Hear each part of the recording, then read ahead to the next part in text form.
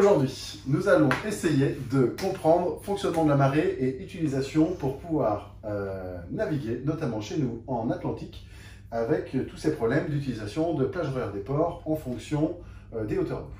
La marée, qu'est-ce qui va faire varier la marée? C'est l'attraction de la Lune, euh, forcément étant basée sur des heures lunaires, c'est pour ça que nous avons des décalages tous les jours des horaires de marée. Euh, on va pas trop s'attarder là-dessus parce que c'est pas euh, le, principe. Dans la marée, vous avez deux courants. Courant de la marée montante, le flot. Courant de la marée descendante, euh, le jusant. C'est une base 100 qui va partir de 20 à 120. Le milieu sera donc à 70. Sur des coefficients de 70, nous sommes sur des moyennes marées. Et après, nous avons des grandes eaux, là où la mer va monter très haut, mais aussi descendre très bas. Où vous pourrez rencontrer des mortes eaux, là où la mer ne va pas descendre très bas, ni ne monter très haut. Donc, forcément, sur les mortes eaux, le marnage, le volume d'eau transféré sera faible, à la différence des vives eaux. Les vives eaux, c'est ce qui va nous intéresser un petit peu plus, parce qu'on va être capable de rapprocher ça de la carte marine. Lors des vives eaux, la mer va monter très haut et elle va venir se rapprocher au ras de la terre, à la limite extérieure complète de l'estran. À la différence, lorsque la marée va descendre, à ce moment-là, vu qu'elle va descendre très bas, elle va venir ici, sur cette ligne rouge.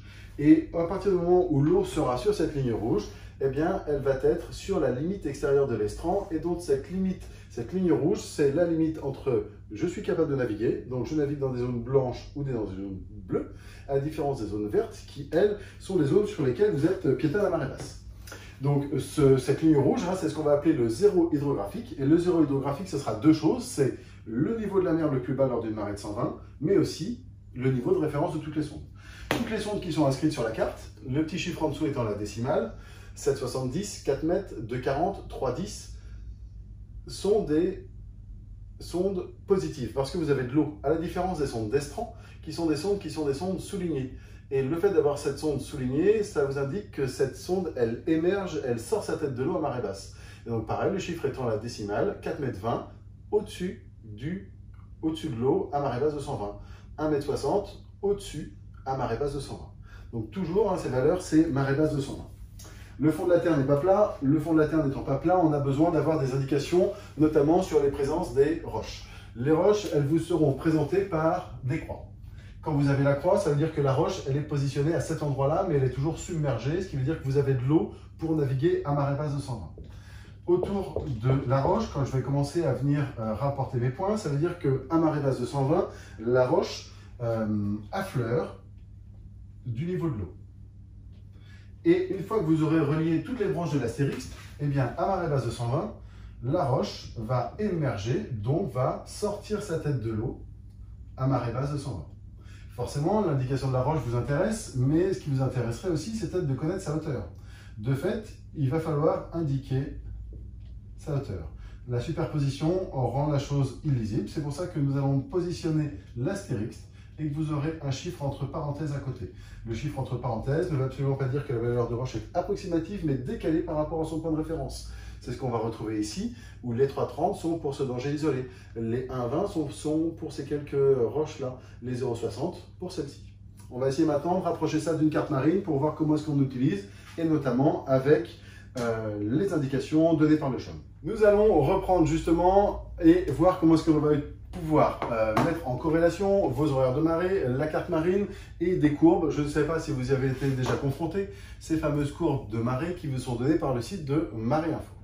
Sur la carte marine, il faudrait déjà repérer en numéro 1 l'endroit sur lequel vous voulez, euh, le port sur lequel vous voulez aller. On aura cette solution soit du port de Saint-Martin ou soit du port de la flotte, le port pour lequel nous allons nous essayer de euh, travailler. Dans l'entièreté des ports, on aura toujours des pictogrammes V, visiteurs, ce sont vos emplacements, là où vous viendrez justement faire des escales. Et au niveau de ces pontons d'escale, eh bien, il faudrait, dans l'idée, essayer de retrouver une valeur de sonde. Et pour le port de la flotte, la valeur de sonde est de 2,20 m à l'entrée du port, mais l'emplacement visiteur étant à l'intérieur, nous allons prendre une valeur moyenne à 2,50 m. Bien sûr, pour le port de la flotte, hein, c'est ce qu'on voit par rapport à l'intégralité de la carte, nous sommes bien sur une sonde d'estrance qui sous-entend que pour une marée basse de 120, le port émerge sur une bosse qui fera 2,50 m. pour les bateaux que vous utiliserez, qui seront à mon avis des semi-rigides ou des euh, bateaux open euh, jusque 8 mètres à 8 mètres 50, on va prendre avec une autorisation hors bord un enfoncement du bateau, donc un tirant d'eau moyen de vos bateaux de 1 mètre, ce qui va nous permettre de nous faciliter les calculs.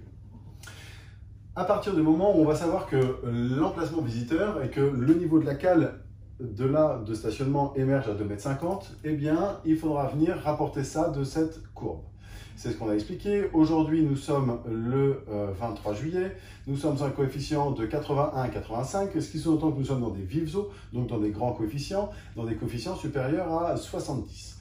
De fait, la mer monte plutôt haut parce que c'est ce qu'on va voir qu'aujourd'hui, vendredi, 17h20, la mer est pleine avec 6 mètres d'eau. Ce qui veut dire que quand vous avez vos 6 mètres d'eau, il est tout à fait possible de naviguer. Par contre, à marée basse, c'est ce qu'on va voir, eh bien, nous n'avons euh, ce soir, nous n'aurons ce soir à marée basse, 23h21, que 1m06. Pense que tout le monde est capable de s'en douter. 1m06, on va simplifier, on va mettre 1 m. Eh bien, nous sommes dans l'incapacité de naviguer dans le port de la flotte. Dans l'idée, vous, ce qu'il va falloir, c'est que, en fonction de votre tirant de bateau, on va prendre notre valeur moyenne, à peu près 1 mètre, eh bien, il va falloir attendre et connaître à quelle heure est-ce que l'eau sera descendue jusque 3,50 mètres, ce qui va vous permettre d'avoir de l'eau au-dessus de cette valeur des 2,50 mètres, plus votre mètre nécessaire pour naviguer.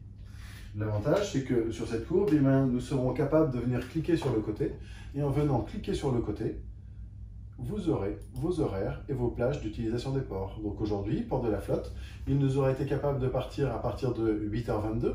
Bien sûr, il y a des endroits où il y a de l'eau, hein, on ne va pas à pied aux États-Unis à marée basse, donc on aurait été capable de naviguer dans toutes ces zones bleues et blanches entre 8h22 et 13h20.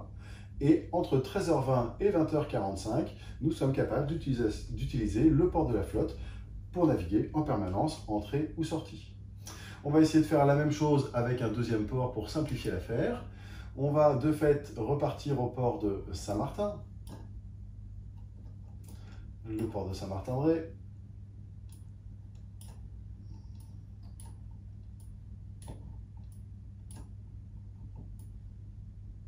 Même principe, emplacement visiteur à l'entrée au niveau du grand môle. La sonde est de négative de 1m20. 1m20 plus votre mètre de tirant d'eau.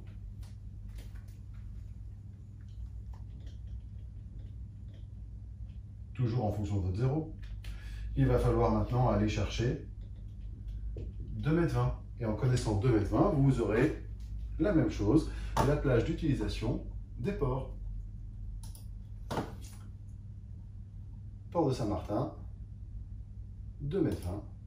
Nous sommes aujourd'hui capables de naviguer entre midi 16 et 21h50. On a toujours ce trou hein, dans lequel nous ne sommes euh, euh, pas capables de naviguer parce que nous avons moins de notre mètre pour euh, rentrer. Ce qu'il va falloir faire attention, c'est que justement pour le port de Saint-Martin, la spécificité étant que sur des tout petits coefs, ayant en l'occurrence à marée basse 2,30 m d'eau, eh bien, sur des petits coefficients inférieurs à 50, vous serez capable de naviguer en permanence à Saint-Martin. Mais lorsque nous avons 2 m 30 d'eau, c'est toujours 2 m 30 par rapport au zéro. Ces 2 m 30 d'eau vous permettent de naviguer certes à Saint-Martin, mais vous empêchent de naviguer au port de la flotte. Parce qu'avec vos 2 m 30, vous aurez au port de la flotte seulement 20 cm de terre. Eh bien, ces 20 cm de terre, ils vous empêchent obligatoirement de naviguer. Ça, ce sont des choses dans lesquelles nous ne sommes pas embêtés dans les ports dans lesquels nous sommes dans des zones bleues, comme par exemple le port des Minimes, le port des Sables ou le port de Royan. J'espère vous revoir bientôt pour un nouveau tutoriel. Et je...